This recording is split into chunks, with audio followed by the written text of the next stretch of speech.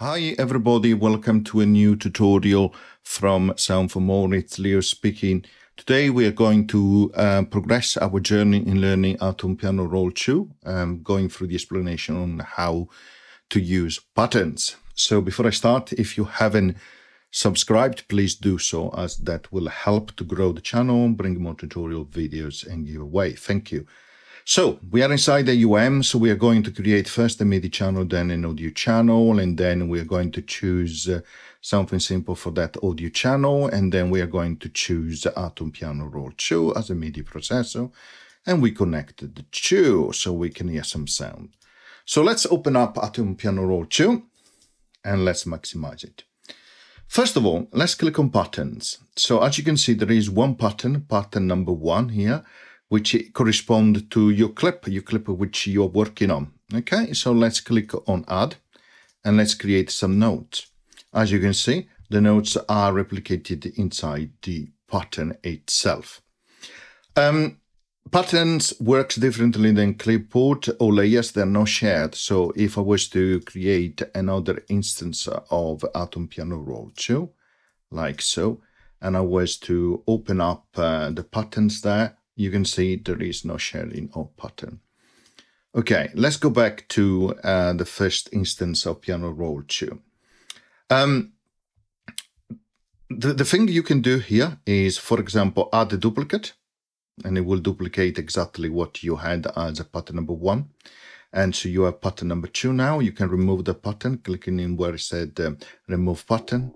You can also add an empty one so, and then you can select that one like so. You can see the tick here of selection of pattern two is selected.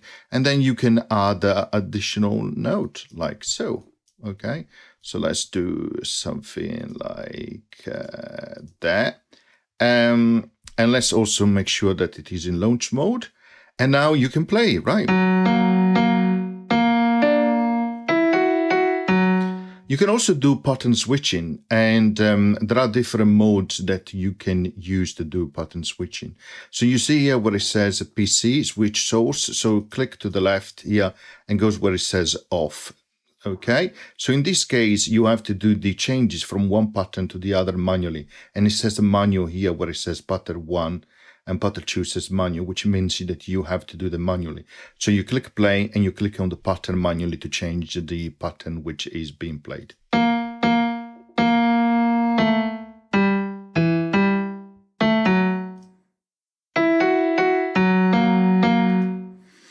Also, what you can see here on the right hand side of the pattern, you find two buttons, one which says focus, which enable the focus of the pattern, without removing the selection of the one which is being played. And if you want to change the one which is being played without changing the focus and therefore the pattern which is selected, you just click on play. So in this case, pattern one would be armed for playing and uh, pattern two is not armed for playing and it doesn't have a focus, but I can click on focus on pattern number two. And you can see the pattern number one is flashing, indicating that that will be the pattern which would be playing. So let's try.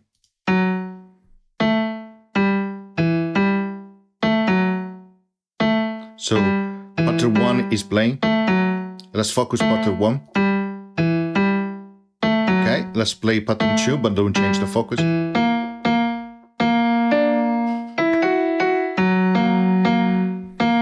Okay, so hopefully that is straightforward. Let's go uh, to pattern number one now.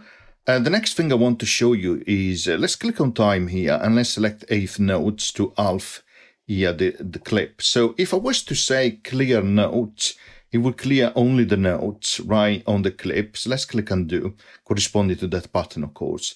But if I was to click reset button, it will also reset the timing, which, um, so that's the difference between uh, a reset button and a clear notes. You can also clear automation if you have recorded some. Now let's go back to the default.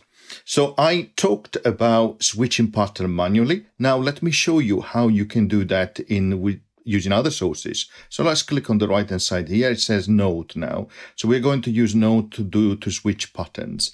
So let's connect the keyboard first of all to uh, this Atom Piano Roll instance. In this case, if I play the keyboard, It will also send MIDI messages to the corresponded uh, link to pia uh, piano audio unit instance.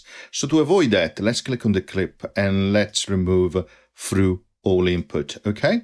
In this case, if I click on the keyboard, it will now send through MIDI messages to the uh, piano audio unit instance. Now it says that the switch channel is number one, so that corresponded to channel uh, MIDI channel number one. Then it says roof offset, which is zero, which will correspond to C minus one, where it says there here. Okay, you can change that moving up like so, or down like so. And then you have a spread, which says one note spread. In that case, the pattern number two will be activated when you press the note corresponding to, T, to C sharp dash or minus one. So let's try. So let's uh, scroll the keyboard right to the bottom. Okay. If I press C1, I have the first pattern selected. If I press C sharp uh, uh, minus one, sorry, no C1, you can see it switching to the second one.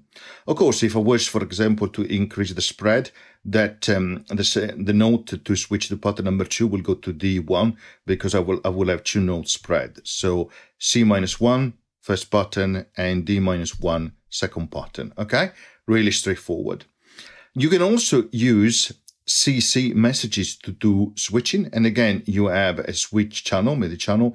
You have the CC message as an offset, in this case, number zero. And then you have the spread. So you can decide by one, two, three, etc. Of course, it becomes more interesting as you use uh, more than two patterns, which I'll show you in a moment. So if you, if in this case you have uh, another unit uh, sending CC messages, uh, you could experiment in um, switching pattern using CC messages. If you don't, one way to do it in AUM is to go under MIDI control, select that MIDI instance and go under parameter under piano roll 2. Let's pick up this one play pattern. Let's select um, CC there and also channel number one and also let's decrease the um, the range here because it makes it a little bit easier. Like so. So let's open that up and um, now let's move these down. Like so. And observe the switcher pattern now. See, it's gone to pattern number one and now pattern number two as you change up and down here. Okay, so that's a quick way to do that. Um, of course, you can also use, if you click again there on the arrow, uh, program changes as well. Similar thing, note that is uses by default uh, switch channel number 16, but you again, again, you have the PC offset and the spread as well. Now, let me show you also how the merge all functionality works. So let's click on merge and it will merge the, the, the patterns which are available into a new pattern there. So let me remove the keyboard now and maximize these windows. As you can see, the spread has changed here. It goes by one, the spread. So the first one would be program change zero, then one, then two. If I was to say, move these two spread two, you'll have the first one to zero, the second one to two, and the third one to four. So please pay attention as that works, particularly with notes. Look at this one. So the first one will be C minus one, the second one D minus one, two semitones up, okay, and the third one E minus one, two semitones up, according to the note spread as well. You can also use uh, uh, velocity here. Again, you have switch channel, the switch note, then you have the velocity offset and the velocity uh, spread. So let's move the velocity spread to something like so, and let's go above a little bit on velocity. Um, actually, no, let's let, let's keep it down to no. Let's let's let's move up a little bit. Let's also move that note to uh, I don't know C0. Okay, let's bring up the keyboard. Let's change the sensitivity here on the keyboard, which will make it easier as well. Let's put this one to maximum. Right, so the note C0 is the one for switching. So depending on velocity, which you can simulate changing the vertical position on the key, you see the switching on pattern. So, say it's the first one, which has been uh, um, second one, you saw the second one switching, and then the third one switching depending on where you click on the keyboard sorry, on the key of the keyboard, okay? So that's one example of how you can use a velocity to change a switch button. And of course, you have also CCV as well signals which you can send. Okay.